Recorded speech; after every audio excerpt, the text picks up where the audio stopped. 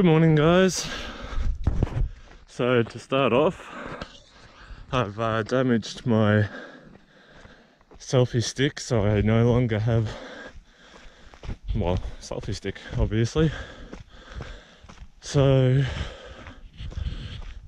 videos will be a little bit more up close and personal, I think.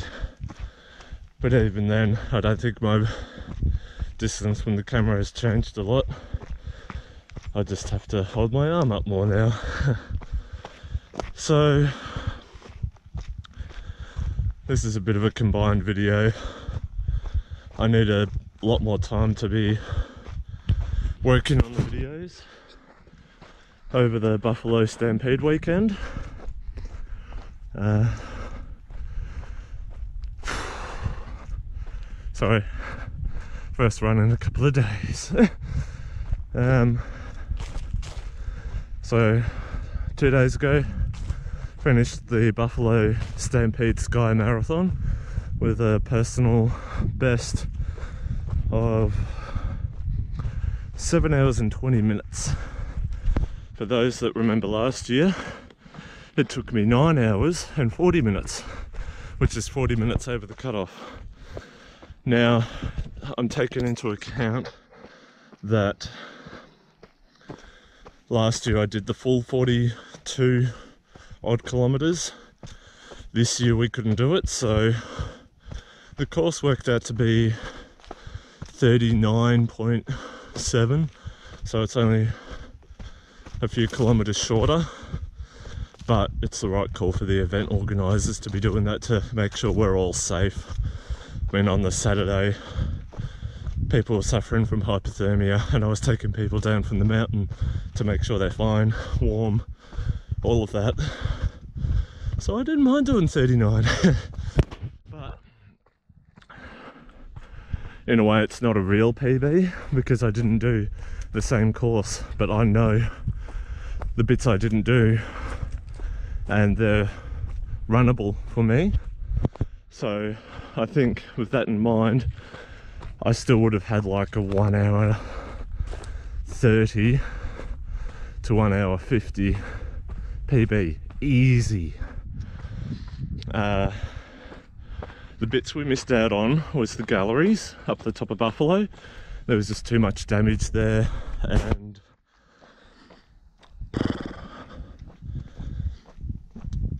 it's more of a bottleneck. Like we sent everyone out in one wave this year. Last year and previous years, they do waves, so it'd be like seven, seven o'clock, ten past seven, and then twenty past seven. So there's three waves. Last year I was in the second wave, and then this year we just all go at once, um, which was quite nice. Uh, first place finished in like 3 hours 40 which is insane. Uh, I don't know how they go down those slippery bits so much. You'll see in a future video exactly what I mean. Uh, bit of damage here as well. This is back at the Moore National Park. Uh, today's training which yesterday was week 11, day one. I did a 30 minute swim. It was supposed to be 45, but I'm tired. I've worked hard. And Buffalo is by far harder than any other training I would do over the weekend. So I was supposed to do 12 to 15 miles on Saturday, didn't do that. And then Sunday, I was supposed to do like another 10 to 12 miles or so. So it was like basically two back to back half marathons. Uh, so doing both of those in one run at Buffalo, it's a lot harder. It's like if I did the two back to backs here, I would have been done in a combined time of say five hours, give or take. uh, depending where I run. Uh, and that's going slow or slow. Uh, um, but Buffalo, everyone knows what Buffalo is like.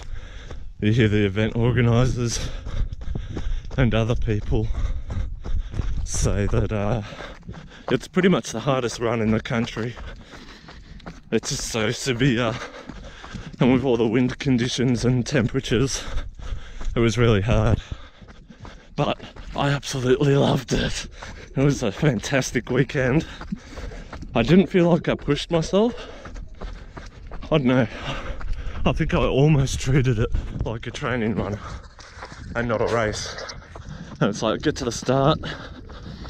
I had like a few seconds to go to the toilet, get to the start line, and then go. And I met with Megan Brown from Salem District Runners, and we pretty much spent the whole run together, besides like one climb or one part of the climb up to clear spot. See how I kicked my ass going up there. Um, but I caught up to her on the downhill, which was nice. Um, so yeah, that's a little bit about Buffalo without divulging too much. Uh, today's run, it's going to be my probably my last one for the week. There's a oh, lot of debris here. There's a bit going on this week. Uh, a few people know what's happening. Uh, so I'm going to do three, maybe four loops. I'll see how I'm feeling. I don't really want to do too much. I've got physio with Sarah for an hour this afternoon. Uh, so I'm hoping that goes well. I might be doing some dry needling just because of my calves. They've been tight for a while. They got tweaked a little bit of Buffalo.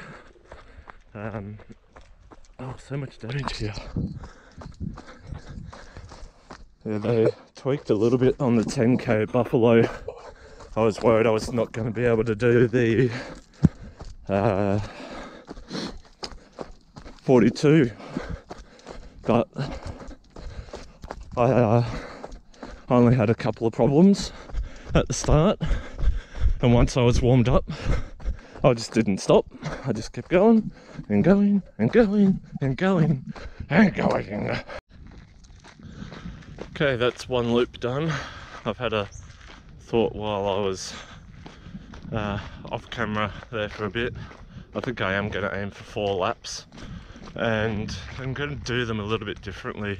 Normally I do one that way and then loop back reverse and then again the first way and then reverse for the last one. But I'm thinking I really like the gentle down on this way. Uh, it's nice and cruisy without putting in too much effort and this way I've got more of a climb. So there's two parts that you can uh, kind of get onto the track. I did the shorter distance that one. So I'm thinking I might actually do the bigger climb to the very top and then come back down. It, you'll see on the Strava profile what it looks like. It's like this little extra bit it's like a slither but you can see the difference in uh, elevation so I'm not going to rush it. I'm just going to take it nice and easy and I'll do that one. And then the second the third loop sorry I will do the shorter entry again. And then the last one I'll see how I feel but I might go to the top again. Whew good fun. Alright, see you soon guys. Oh my. Still doing the first climb of the second loop. Oh, it's still a mighty climb.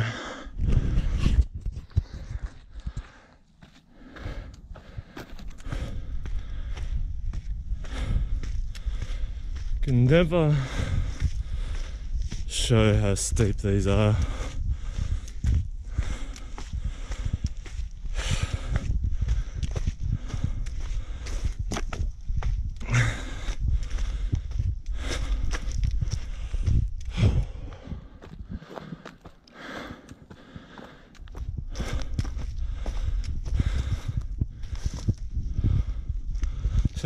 Do that. Bye. Hey guys. Starting my third loop. Starting to think it might be my last one. Right now I'm up to 3.6 miles. Uh, mostly thinking because legs were getting a bit sore on the last one. The cruisy downhill section that I did on the first loop was at a eight minute mile pace and the one just now was closer to eight and a half to nine minutes and also I'm not having the best running gear on at the moment besides the top. So I've got my old shoes on. I've got my basketball shorts on which I really need to get rid of because these are the ones that cause chafing. So I think by the end of this loop I'll have decided to just do the three laps. But I'm still reaching the target. It was like five to seven miles today. These miles are harder than around town with climbs. I think I'm giving myself a lot of excuses but it's good to have at least come out and done this. Um, yeah so it'll be about 8 k's or so of hills. So yeah. I think I'll still hit five miles before the end. Let's see. Yeah easy. It's like 1.3 miles here so I'll be hitting the fifth mile along the stretch going back towards the finish. And that will be enough for today. Um, I could round it up to do six possibly but I think that's enough for now. I don't want my legs to be too stuffed for Sarah I know my legs are already gonna hurt during that massage. um, plus I need to work on this video and clean my car and maybe do some more washing. Uh, get rid of stuff that accumulated over Buffalo and then maybe do some uh, work on the Buffalo Stampede video. It's going to be a long one. I'm letting you guys know in advance. It might even be an hour. I don't know how much cropping I'm going to do. There's a few videos there where, like there's one in particular, I didn't know I was already recording. I recorded a whole heap of stuff that happened and some of it was quite interesting. You see a couple more falls and sorry if that's I just made that worse. That looks better. Sorry guys. Um so yeah it'll be interesting to chuck them all into my video editor and just watch it whenever there's bits where there's not much happening I'll just cut it out but most of that footage is from the 10k I didn't really record much for the Sky Marathon. I've recorded more today on this small training run than I did for the Sky Marathon. But I'll have a lot to talk about. I did do some scenic videos on the way home. I'm gonna chuck them up and do a voice overlay and tell you all about the time Buffalo Briggsy conquered Buffalo Stampede.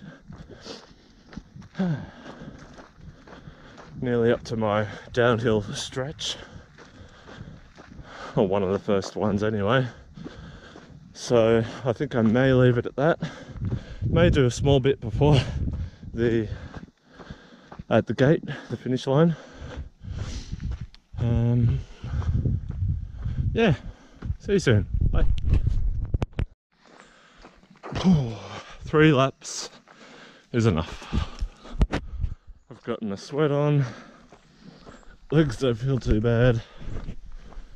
Heart rate feels good. Breathing isn't so bad. Um, chafing game is starting to occur, so no more laps.